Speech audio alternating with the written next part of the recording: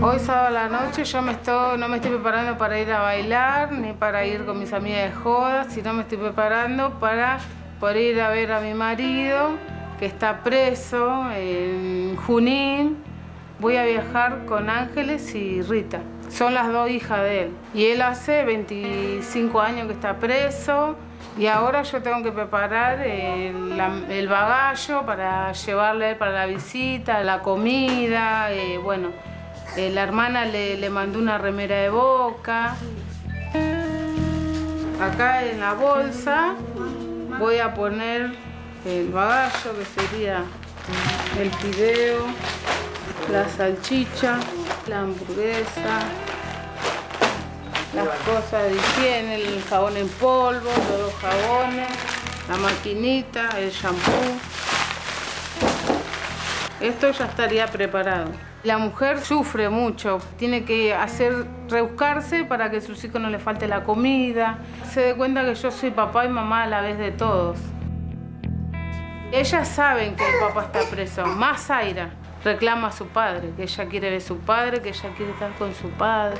Porque Zaira me dice, mi papá está preso, eh, mi papá cuándo va a salir.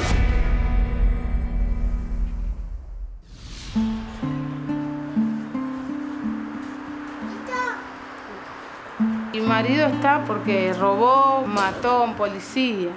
No sé qué se le cruzó por la cabeza hacer lo que hizo. A veces me digo yo, ¿cómo me vine a meter con un hombre que está preso?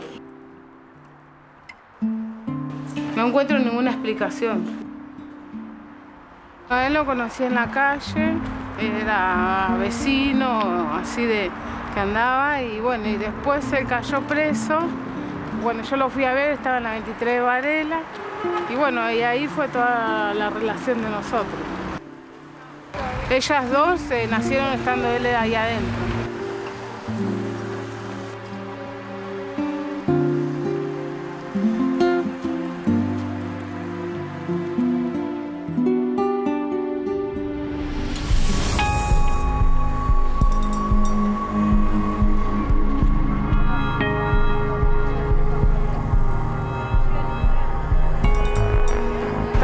En la parada donde sale el tumbero para poder ir a Junín. Es un micro y van todos los familiares los presos, todo.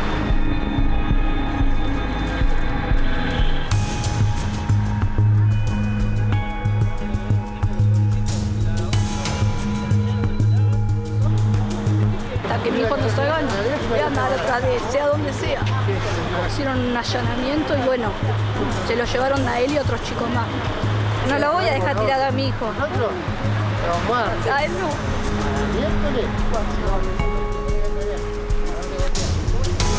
¿Se lo? Cada 15 días lo voy a ver. Descanso una semana y esa semana que descanso ya empiezo a juntar todas las cosas de vuelta para llevarle la otra semana. Mi sueldo está ahí, pero no me importa. Es triste vos salir de la visita y saber que alguien de tu familia está ahí adentro. Yo sé que me sube ese micro y me lleva rumbo a Junín. ¿Cuánto se cobra? 480. Ida y vuelta. Dos y media de la mañana llegamos al penal. Y hasta las 7 de la mañana no pueden entrar. Y lo esperamos hasta, hasta las 3 de la tarde. Hay micros que vale todo. ¿Qué significa? Y que la merca, el porro, todo. De acá el que se pasa de raya no viaja. ¿Alguna vez te pasó? Sí, los bajo, yo los bajo.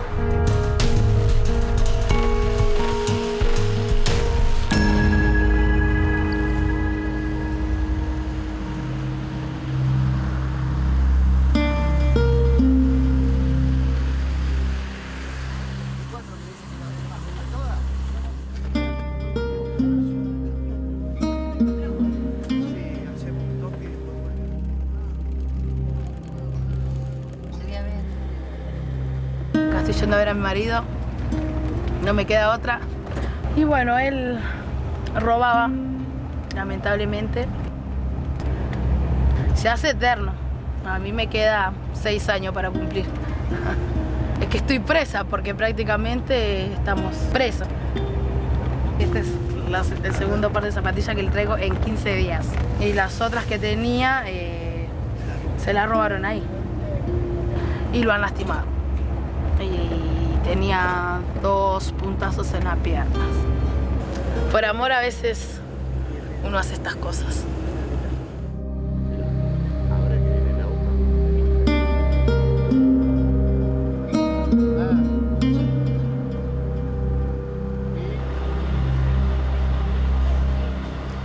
Estamos en Andrés de Giles.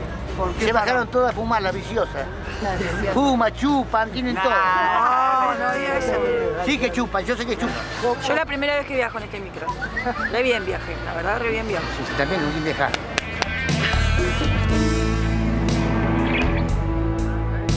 Cuando llegamos tenemos que correr eh, para poder agarrar un lugar primera y bueno, ir acomodándose.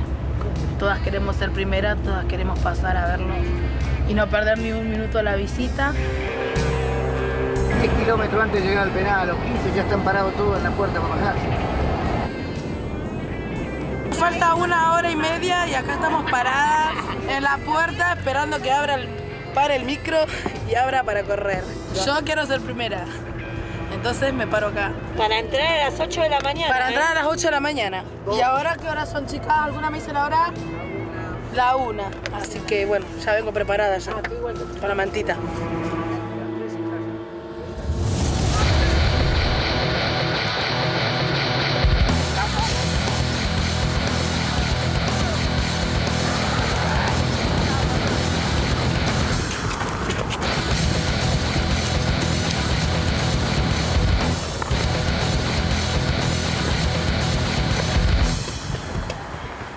Que esperar acá hasta las 7 de la mañana. Hasta las 7 son. ¿qué hora Sí. es? Las dos. Las dos, ¿qué hora es?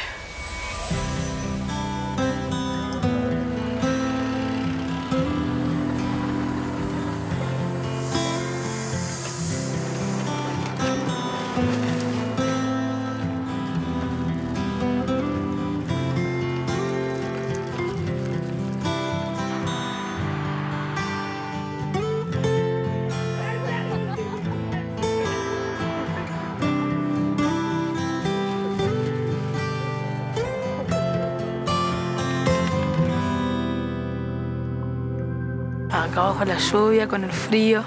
No tenemos un techito, no tenemos dónde ponernos. Nada. 14 ya tenemos adelante.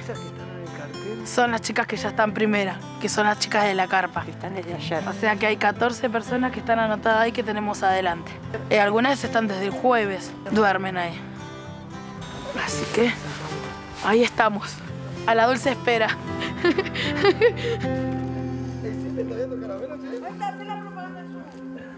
De repente estás en la fila vos y se te vienen a mandar cuatro o cinco. Y vos estás sola. Y vos estás sola y ¿qué haces?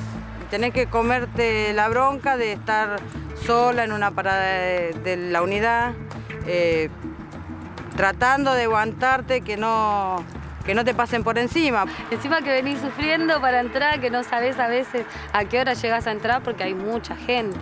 A veces Y entrar a las te 12, tenés que las ser- 11 y media del Sí, entras a las 7 y a veces capaz que de las 7 entras a las 11 y una y media ya tenés que Ya tenés salir. que salir. Me voy a cagar de frío, me voy a cagar yo, muriendo de frío, toda mojada, pero lo voy a seguir. Y le vamos. No se lo demostrás a él, pero nunca lo terminás de asimilar que vos te vas y él se queda ahí. Y entendés, y vos te, te tenés que demostrar fuerte. Eso es lo que más quiero, que se porte bien y que valore todas las cosas que hice por él. un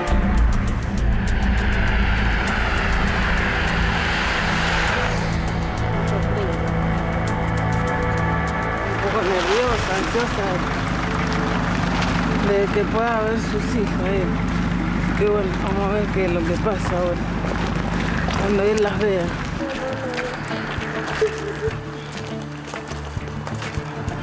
Y seis y media, más o menos siete ya ahora. Ya abren la puerta para mí. Empujen que hay chicos y al bebé, por favor. ¡No empujen! ¡Mira los chicos!